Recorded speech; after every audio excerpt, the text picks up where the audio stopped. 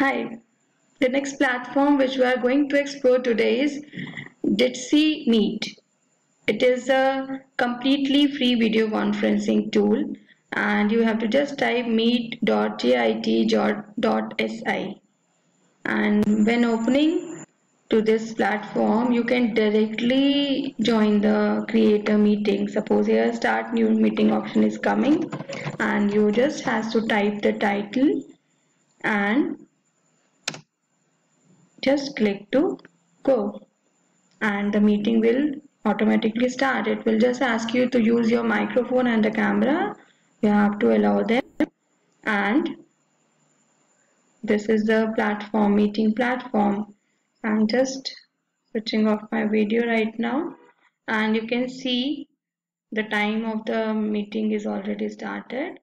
And here is the option of share my screen is coming on the extreme left and I can share my entire screen over here.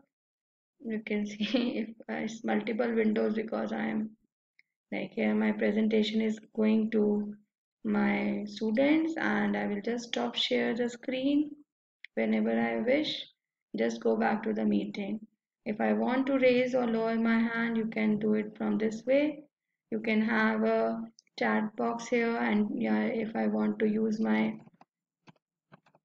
a nickname for the chat I can just mention so that my teacher if a teacher wants to know who is chatting you can this is audio this is to end the meeting this is the camera option coming this is the toggle view of the platform.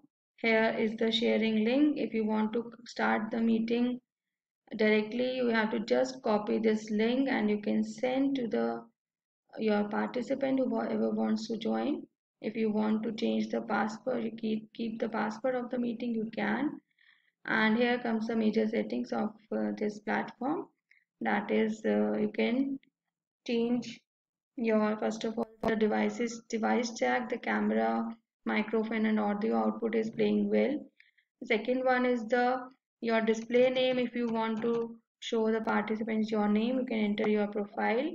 You can uh, save into your meeting uh, calendar by uh, signing into your google account. If you want to act as like moderator uh, everyone starts muted everyone start hidden everyone follows me. And the language of the meeting if you want to change the language you can.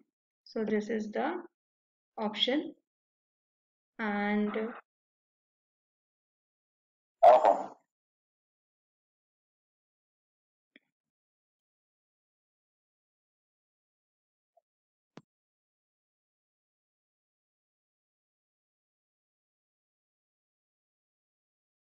so